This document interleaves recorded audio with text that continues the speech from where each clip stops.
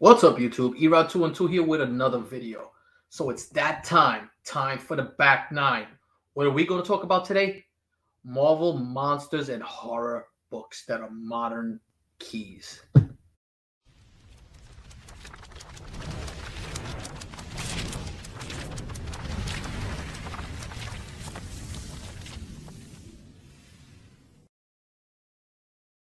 All right, so like I said, let's take a look this time at a great topic with everything that happened with Werewolf by Night and how great it was.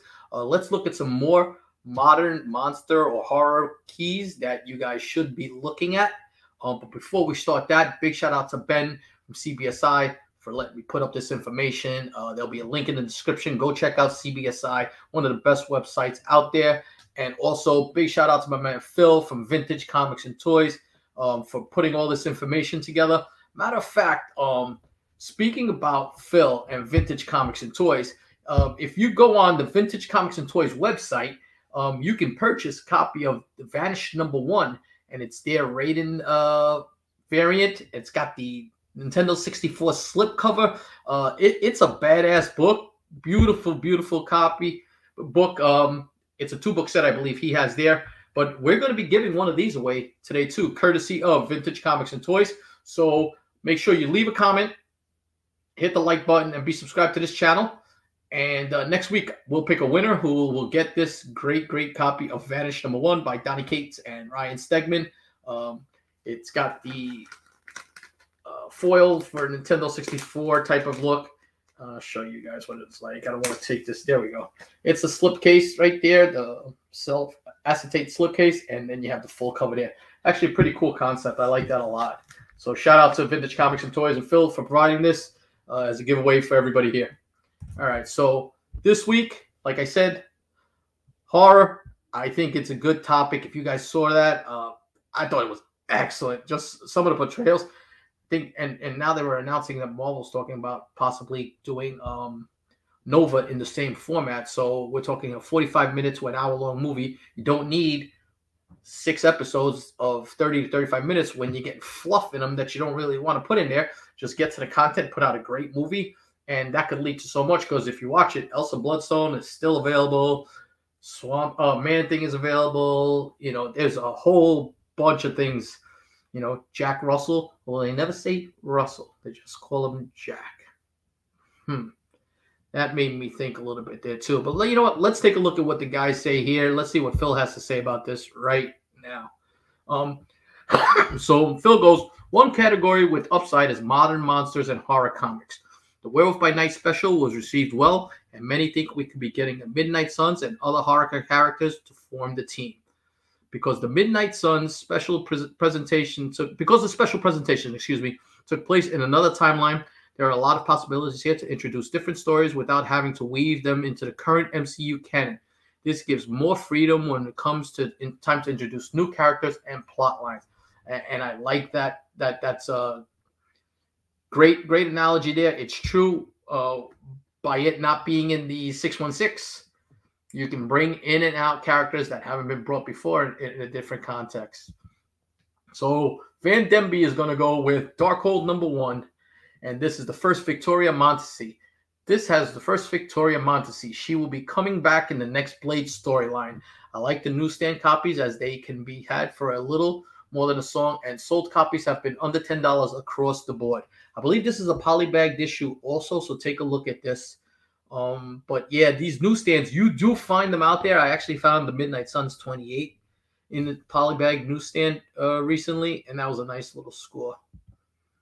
Uh, Stein goes with a killer. Uh, right now, this book is fantastic. This Bloodstone number one. This is the first Elsa Bloodstone. Nobody snatched Bloodstone number one. If they do her justice, she could have universal mainstream appeal like Laura Croft. It is risk reward though. If you really think about it, how many female action franchises are out there? Even Black Widow only got one feature film. Um, will Elsa be in something else? I think so. Will she be part of the Midnight Suns or something across there?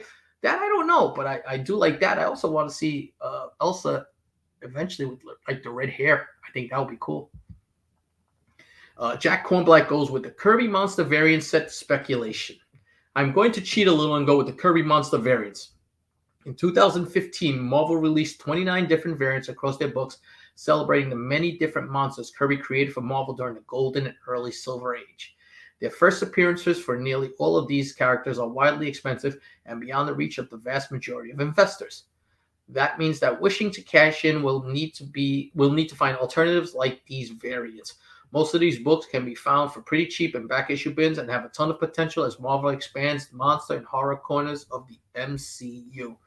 There's some great covers to this too. I mean, if you're taking some of the old iconic monsters that Kirby created, remember, uh, Tales to Astonish and all those other books were uh, amazing fantasy. You know, uh, were bringing horror stories because that's what the big genre was in in the 50s. So uh, stuff to look at because these are nice recreations. Because those other, especially the Golden Age stuff, is just beyond my reach at least.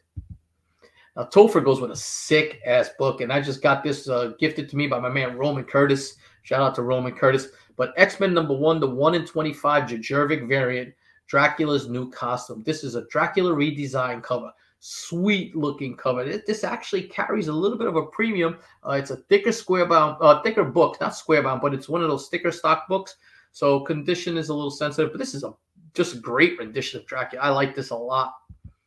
Uh, Topher goes with Franken Castle number 21. First meeting of Punisher and Bloodstone. Elsa Bloodstone meets the Punisher for the first time here, and they battle for the Bloodstone. Final issue to boot. See, I, a book I wasn't aware of. If you're looking at that cover, though, you've got Swamp Thing, Werewolf by Night, Morbius, uh, Dracula, that, that, Frankenstein monster. Pretty sick. I might have to pick this uh pick this series up and something to read. This is a great cover. See, and this is what I'm talking about. Elsa Bloodstone with the red hair. I kind of like it. I like it better than the blonde. It fits her better. Uh, Ali goes with Monsters Unleashed number three. This is the Lee 1 in 25 cover speculation. Becoming the grail of the Bloodstone books might surpass and hold as the top Elsa Bloodstone comic when the dust settles. I think Bloodstone number one will be the book just because it's the first appearance and it's an iconic uh, older cover. But this this is a close second. This is a badass cover right here. Tough to find too. You don't find this in the wild. And then Ali goes with Man Thing number one. It's the first solo issue, Origin Classic cover first title series of Man Thing, affordable now to most people and can be had for under $200. Uh, great Bronze Age right here. Just be careful, sensitive to uh, condition sensitive with these books. You want to get it in high grade if possible. Um, a C-list character that just again, uh, this was Marvel magic. It kind of reminded me when you saw Rocket and Groot, who were just second and third tier, third and fourth tier characters, and now uh, they become endearing to people. That's what happened there with my with Man Thing. Uh, pretty cool. And uh, Chris goes with Ravencroft number one, the one in twenty-five brown cover speculation.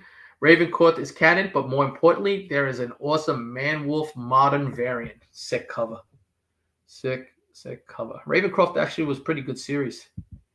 Uh, Chris also goes with Dead of Night featuring Werewolf by Night number four, cover speculation, origin story. Always love this cover. Beautiful Japanese style battle cover. The Dead of Night Max books could be gold too. It's an origin story too with some nice gory panels in the interior. Um, I'm not a fan of the cover, but uh, definitely something to look at, especially if you got gore in it. That's these Max books were good for the violence. Uh, if you, you can see, there were explicit content, so um, you could go a little further with these books than you could in the normal book. And Phil's going to go with Ghost Rider Fear Itself, number one, the first Alejandra Jones. Um, I feel like Alejandra Jones checks off a lot of boxes. It's a long spec. We definitely get Johnny Blaze, and uh, that should be Danny Ketch first before we see her. The regular cover still has a decent floor, and I think you can get a copy for $25 or less. This is a book I pick up. Um, female Ghost Rider, female character in general, always do well. Um, same thing with um, the female white tiger, another book that I'll pick up if I see it out there. Just good little good little books that you never know what's going to happen. They could pick up, and this is a badass cover to, to, to boot. So those are the picks from everybody on the crew. Uh, let me know what you guys think about them. And you know what? Let me show you my pick, and we'll discuss this one too. So I'm going to go with Werewolf by Night number one from 2020. It's the first appearance of new Werewolf by Night, Jake Gomez. And just hear me out. This new rendition of Werewolf by Night, created by Taboo of the Black Eyed gives a classic character a new beginning. During the Werewolf, Werewolf by Night series in Disney Plus, you hear the main character speaking in Spanish. Makes you go, hmm. And uh, that was the thing with me, at least. Um, when they were trapped in the cage and you heard him speak Spanish, I was like, wait a minute. Jack Russell didn't speak Spanish. Is this an amalgam of the two characters? Could it be Jake instead of Jack? And you know, just a play on the name. Um, could be possibility. Great read, great spec book. There's a couple of variants that I cover that are really, really taking off. So some stuff that you guys should be checking out. And um, if you're in the area, um, Icon is coming. It's going to be an event similar to um, what KingCon is, but up in like the Fishkill area of New York. And you're gonna have some crazy vendors like Very Gary, and uh, I think Street Side Anthony is there. But you've got Panther Comics there and Absolute Comics and a whole bunch of vendors opening up a big show floor. There's to be artists there. Um, I think there's to be a um, CGC witness there. So uh, bringing it to a whole different area that can't make it down to the KingCon area. I'm going to try and bring that vibe over up to you guys. So check that out. Uh, the date I'll post it up here, and uh, should be a really good show. But that's it for now. Appreciate you guys. Until the next one, peace.